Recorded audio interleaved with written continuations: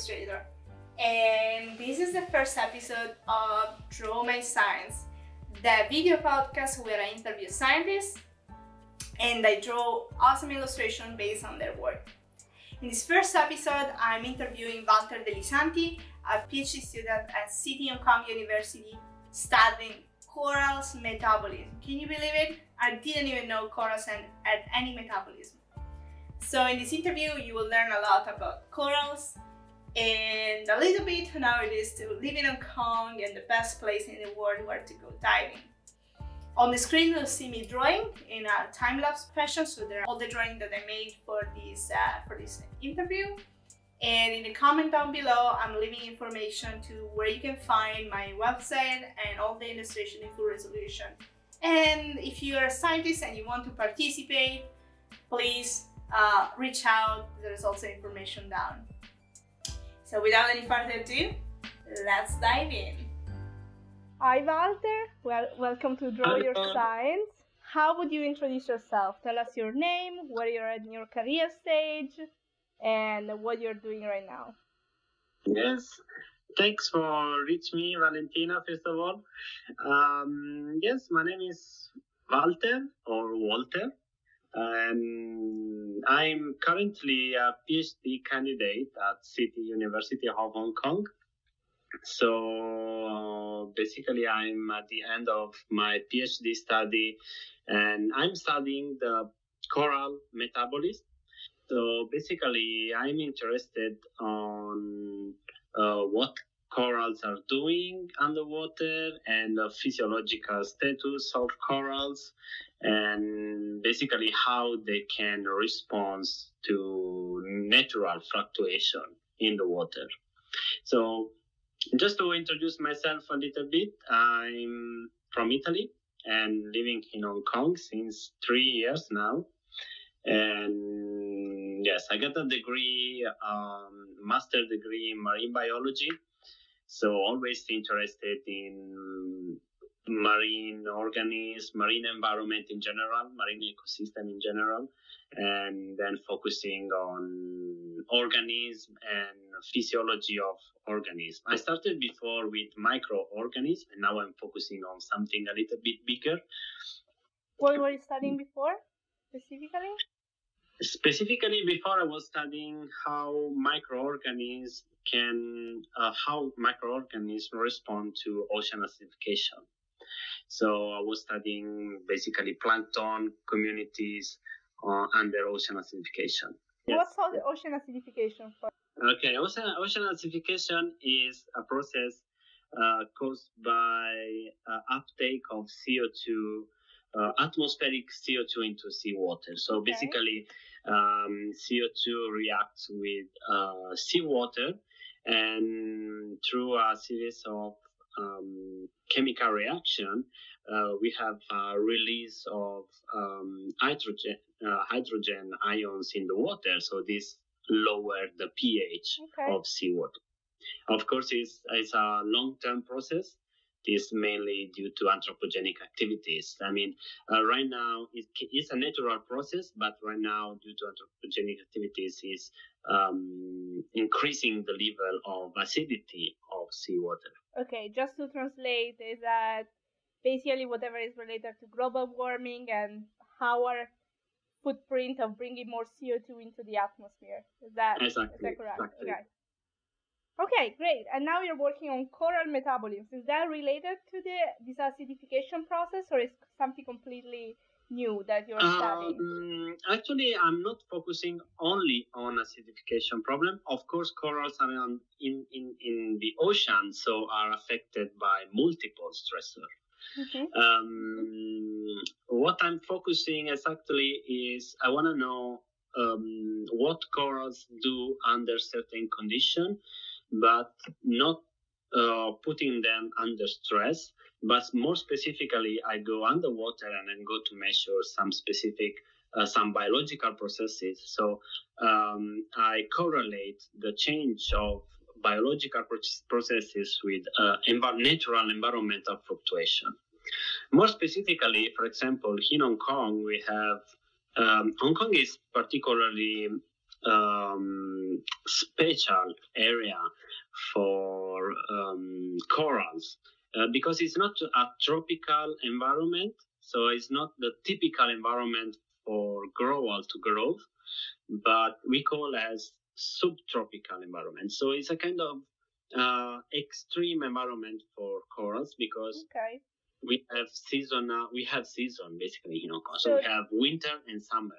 So the, the just step back. So the the coral ideal environment will be tropical environment.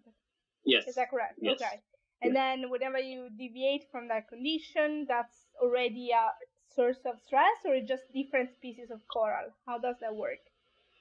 Uh, both actually. So in in the normal condition, um, we have um, in a normal condition, corals can live, can survive in in the natural fluctuation. So, for example, uh, corals live in the tropics. They prefer warm water and more saline water, so Mhm. basically salt water, and usually currents because need to bring some nutrients also and and clean water every time. But in Hong Kong, instead, we have uh, winter and summer season. So we have dry season and wet season. So we Okay. have basically uh, during the summer, for example, we have high temperature and um, and heavy rainfall due to wet season. And during the winter, we have cold water and dry season. So this kind of natural fluctuation, of course, is affecting corals living in Hong Kong, and we have different species uh, rather than those living in the tropics. Mm-hmm. But in we basically we say that corals living in Hong Kong are, are highly resistant to natural fluctuation. But what I want to know is how they can adapt to this natural Okay. fluctuation. So they they're not. I I- I'm assuming they're not so different than than the one in the tropic that is obvious how they can survive. Is that right? yes. And how many species of coral do you study? Uh, I'm studying right one species, specific, one species in detail, and I'm trying to compare uh, now another species, so maximum two species only, Okay. uh, because this is kind of pilot study. Uh, so maybe in the future we can use other species. It's just out of curiosity. Do you know how many species there are around the Hong Kong area? Is that Yes, very variegated, we have a lot of species of corals. Actually, no, um, only few people knows that we have a lot of corals in Hong Kong, and we have maximum around 150 species, okay? considering all hard corals, soft corals, black corals, and gorgonians. What are the four things you mentioned? So there, you say art, soft, uh, and then the other two names? Can you just Black can you just briefly tell us what they are? Oh, basically, it's morphological differentiation of corals. Okay. It's uh, very, very easy. Uh, hard corals are the common hard surface coral. Okay. Okay. Um, soft corals are um, soft surface coral. Uh, they have the difference is that they have the hard corals. They create the calcium carbonate hmm as skeleton. The soft coral has calcium carbonate secretion inside the organism, so the soft part is outside the animal. Okay. And black corals instead is still um, similar. Is a similar coral with a black uh, skeleton. Okay. What what does it give the color black? Is that a different type of carbonate or is it? It's, it's, actually it's a different mineral. Yeah. Okay. and and then gorgonians also is another type of uh, of another type of skeleton basically Okay. so another type of calcium carbonate So the, the common the common thing that define corals is this skeleton structure, and then on the, the depending on the difference between the different species, then you have these categories. Is that right or uh, yes of course it's not just that it's Yeah, not only this but yes too if we want to make it easy to, simplify, understand to- better yeah, just to yes get yes yes get it of course. accessible to everyone. Okay, sorry for interrupting you. So you're back. So No, what are What type are you studying this time? So I'm studying a reef, um, a reef, um, how they call it, uh, like a building, reef building coral, a boulder shape. Commonly named is brain coral. Okay. Brain so it's coral. That basically a sounds fun. boulder shaped coral and very simple structures like a, like a boulder is actually Mhm. with some some signatures like brain brain shape okay so these corals this species is uh, widely distributed in hong kong so it is believed to be a highly highly resistant species and also it is it has a perfect structures of uh, for my study because i'm studying the metabolism using a specific instrument Mhm. that is that was developed by some other colleagues and so i'm using this instrument i can uh, place this instrument directly on the coral surface so since this species is um, uh, is a flat surface Mhm. it's easy to to use this instrument to be attached on the, on the surface. And so through this instrument, I can measure some, uh, basically the biological activity of the coral. Such as uh, wh- what exactly are you measuring as a biological activity? Exactly, I'm measuring, I put this instrument on the coral surface and I measure fluxes of oxygen, pH, and temperature Okay. in the dark and in the light. So I know I'm measuring the respiration, photosynthesis, and the calcification of the coral okay. directly underwater. That's cool. So a typical day for you is actually is not standing in a in a lab with a lab suit, is suiting up and going underwater. Exactly. The idea that you want to do with this through these studies is to bring instruments in the water to study corals instead of collect corals and bring to the lab. Why is it so important to do it this way and not bringing it to the lab? What's the the major benefit of doing that way? Because if you wanna um, if you wanna study corals in their natural environment, we need to go in their environment and we need to see what they are doing. Of course, it's not easy; it's challenging.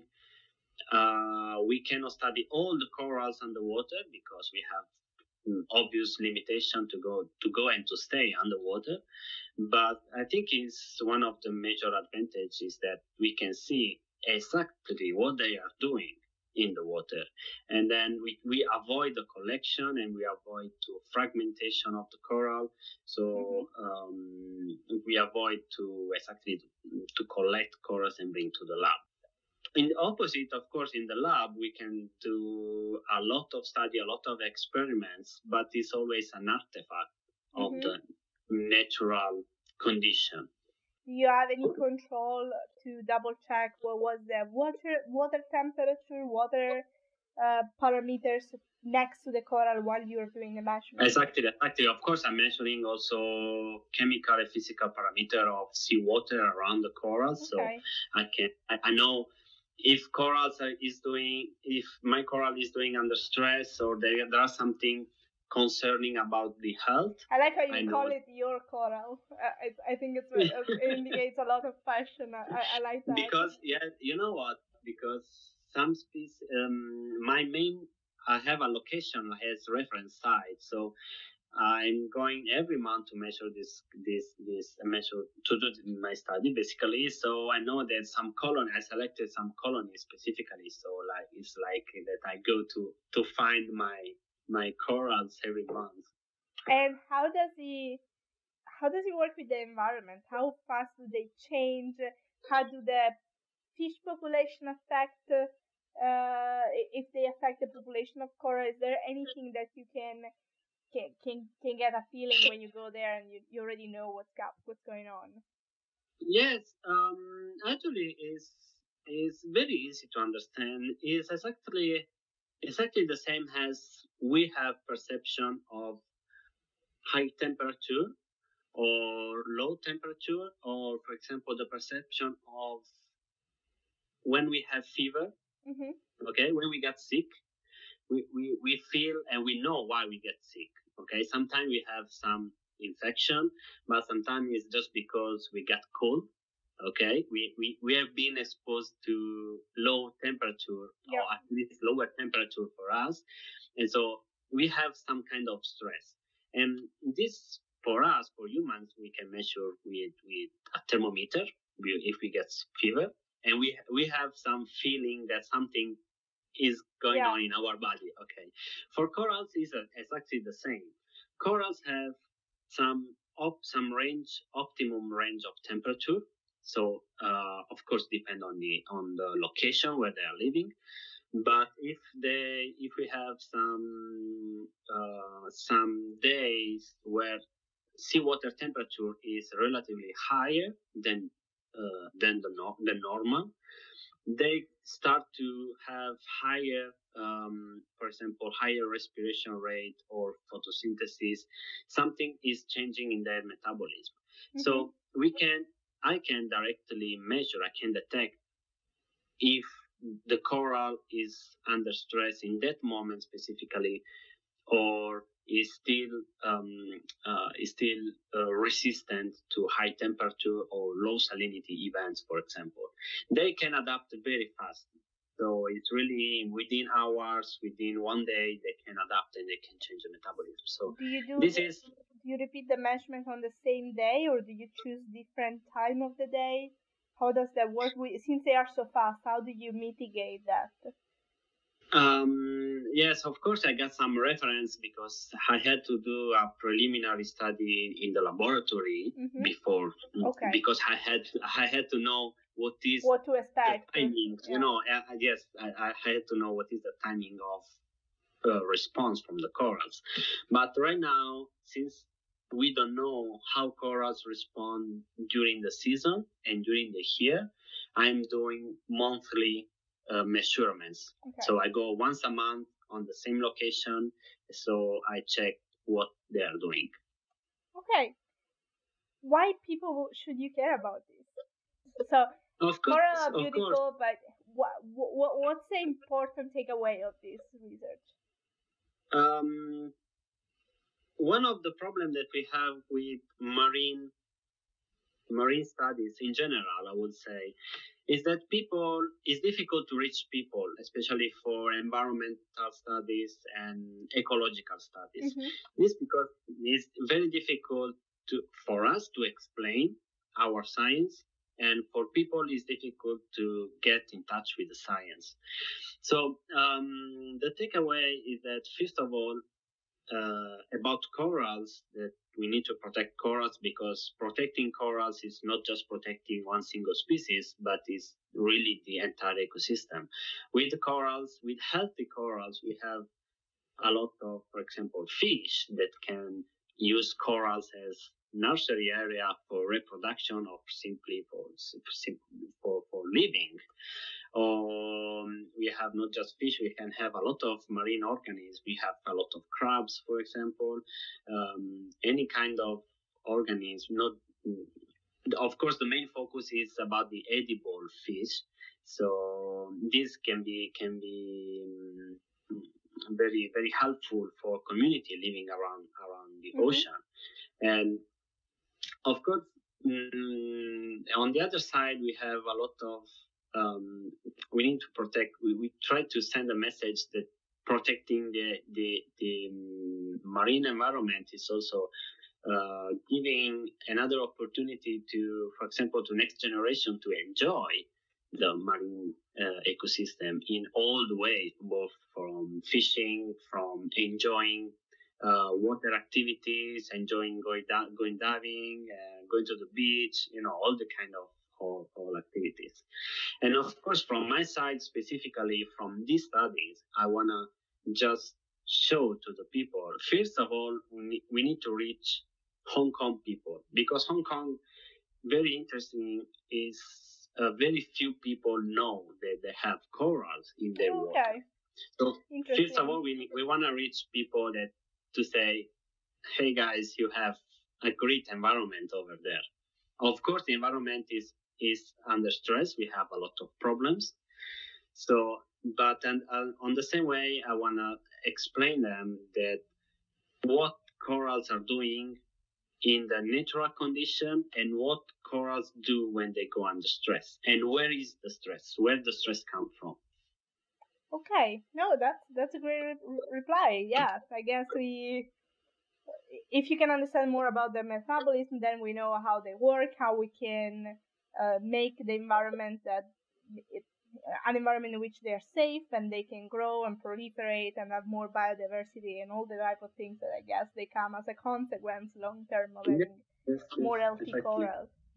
Um, you said two things that I want to touch base on this last uh, last bit. One is uh, that it's difficult to reach people about uh, marine biology or maybe more in general corals. I don't know if it's a sensibility towards coral or in general marine biology.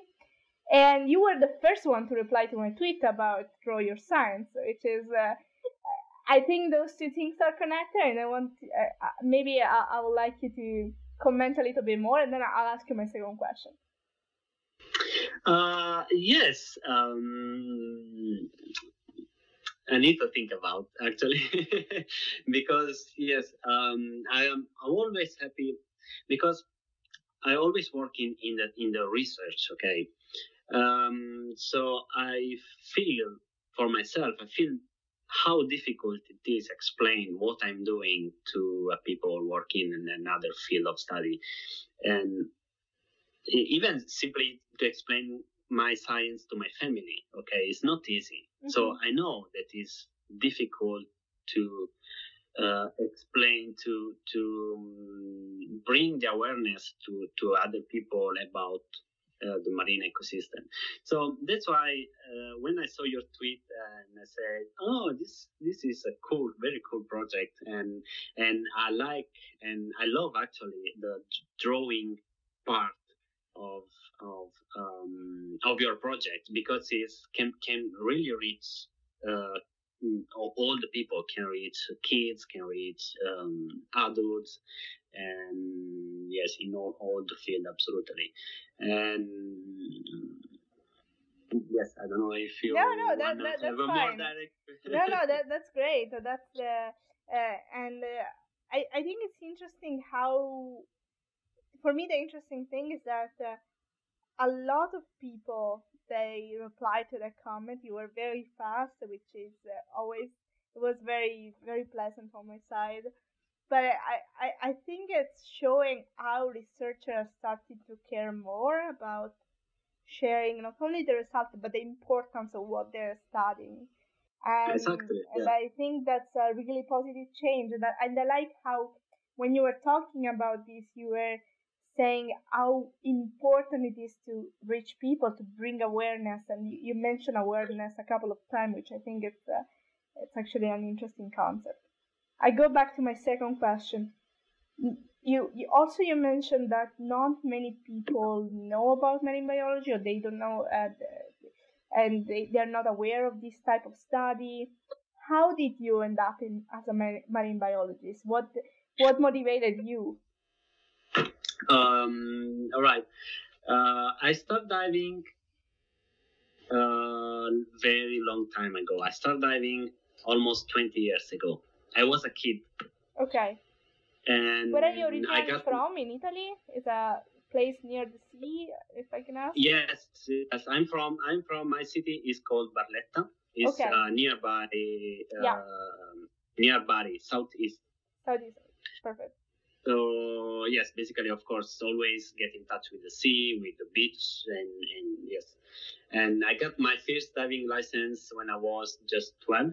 Oh wow! And yeah and it was really for for for just like just playing basically and i got the opportunity uh, to, to to do the um the dive try and of course i was with my parents and really my first impression to breathe underwater even though it was just a pool for me was really discovering a new world and i said okay i want to do the uh, diving course i want to learn how to go underwater. So this, I guess, was for me my my turning point. Uh, of course, then I completed my studies, and when I had to decide to go to universities, I already know that I would like to do marine biology. Mhm. So I first took uh, biology as bachelor and then marine biology as master degree. So I think, um, and this is particularly um, for going back also to the previous question. This is particularly turning point because as I felt what is the the feeling of breathing underwater, um, if we can bring more people, not just underwater, but even just swimming into the sea, they can really recognize how important is uh, environment protection and environment, um, or, or everything related to the ocean, everything related to environment. Because I think people don't care because they cannot see what is underwater. That's a very Okay. nice, nice idea. Yeah. So um, uh, yes. So I think um, using, of course, we cannot bring physically all the people underwater. so that's why also I I really enjoyed to join this kind of project for science communication or science uh, awareness um, that, that are always. I mean, I like it. Yes. Yeah. No, that's that's great. So, how many different? That, that's just out of curiosity, because now I'm getting jealous. I never dived. I- I- I know should this try now. I know to swim, and uh, I should definitely try. I have a lot of friends that do diving, and I should. How many? In how many different sea or ocean or place have you uh, have you do have you have you done a diving expedition? Because Bari is the Adriatic Sea, or the Barletta is on the Adriatic or the Ionian? yeah, Adriatic Sea. Okay. So that's one. Hong Kong. I don't know what's the name of the sea around Hong Kong. If it's directly the ocean or if it's something Um, else. Hong Kong, Hong Kong, we call Hong Kong marine Okay. ecosystem. Is there any other general. place that you have uh, you you've done your diving expedition? Uh, yes, of course. Uh, of course, um, many places around Mediterranean Sea. Okay. So between also west coast of Italy, that I, I think is one of the still one of the best place of the world.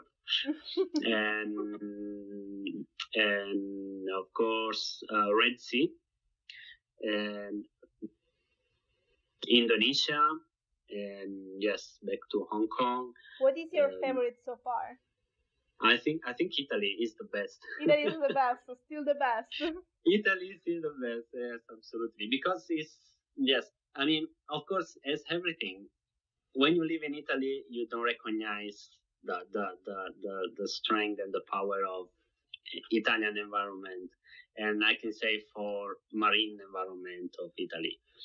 Um, of course, it's very different between East Coast and West Coast, but the West Coast around Tuscany for me is one of the best area for underwater, yeah, underwater environment. That's good. Tuscany is one of my favorite regions. So next time I'm there, I know Ah, I know yes, that I also have to do some diving. um, you gave me a perfect segue for my next question. That is uh, how it because uh, now I want to talk a little bit about you and and you as a researcher. How it is to live in Hong Kong. How it is to be so far away from home. Is there a cultural shock and um, well, how do you you you've been there for three years now? Do you feel part of Yes. the culture? Um, difficult question. and this this I think goes out of science discussion now. Um, well, but you know, you know, difficult. science is very, it's becoming more and more international. So I want to bring also that aspect and, and show how, because I think one aspect of science communication is to show that behind the scientists there are people, and I think that's why I, I I'm just have I don't have that many questions about uh, something personal, but I think. Uh, Especially the multiculturality of science, the interconnectivity of science. I think that's some, one point that I, I want to touch. And I, Okay, just okay, your personal Um, opinion, nothing. Uh, okay, okay. So um, it's completely another world. Yes, absolutely. Um, I I can say that we can have um, a lot of opportunity. Um, Hong Kong Hong Kong is really a region, very multicultural region. So you can approach any kind of people from any kind of sector, any kind of field of expertise. From even for me, I, I, I can, of course, I can tell you my experience. For me, not only focusing on marine biology itself, but I can be, and I'm actually be in contact with, I don't know, for with engineers, with uh, designers, with um, any, any any other field of, that I could combine together with with some other activities still about marine uh, um, marine uh, education or awareness or whatever. So I think Hong Kong is is a great uh, great opportunity for young students or young researchers that want to start to have some um, that want to start to think open-minded about science in general. And yes, that's absolutely absolutely is, is a great place. Yeah. Okay. And of course, for example, we have a lot of universities. We have at least six, seven universities mm-hmm. in Hong Kong. So um, sometimes the work is overlapping, but still have chance, still have a way to collaborate with other people or get in touch with other other researchers. So it's it's a very very innovative and and yes, very very nice place for for science for sure. Do you think you're gonna stay after the PhD, or what's gonna be uh, what's gonna be your next knows? step? Do you know already? Do you have an idea? Uh, not yet, because I'm planning I'm planning to do some uh, research exchange back to Europe. Okay. Uh, um, still studying coral physiology and coral metabolism, uh, but in another way. Um, so yes, that will be the last step of my PhD. The last step. okay, and then all is open. You'll decide after that. Yes, yes, no rush now, and uh, still, That's still good. didn't think yet. Yeah. Okay, we have reached that 30 minutes mark, so right. well, I, I think I'll let you go to sit up and go check on your corals. I don't know if it, that's day that's the day of the month in which you're gonna do your uh, your check. Can you go and share to the world where people can find about you or about your research? If you have a website, a Twitter account, if you can tell us right now. And so. Absolutely. Uh, I don't have a, a, personal website yet, but of course, Twitter and Instagram uh, I use mainly. So just look for my name, Walter Dellisanti, and yes, can find those some information. Twitter and Instagram. That's perfect. Yes. Okay, Walter or Walter. What's what's the right pronunciation? I think overseas is Walter, overseas but in Italy, yes, Walter. Walter. okay, so I'll call you Walter. Okay, thank you, Walter, so much. That was fantastic. I didn't know so many things about corals, and I, and you have great. You, have shared a lot of things that I didn't consider because when I think of marine biology, I always think that is, uh, I don't know. I, as I say, it's not something that crossed my mind that many that, that, that often, and I think uh, bringing this type of awareness of how important it is to study, uh, to study and to see uh, what's out there. To, yes, yes, to, exactly. I think that's uh, that's fantastic. Welcome back! I hope you really enjoyed this format. It's the first time doing anything like this, so please leave down below a comment with your suggestion on how I can improve it. I know the audio quality wasn't perfect, so any recommendation and suggestion is really welcome. And I'll guess I'll see you in the next episode of Draw My Science. Bye!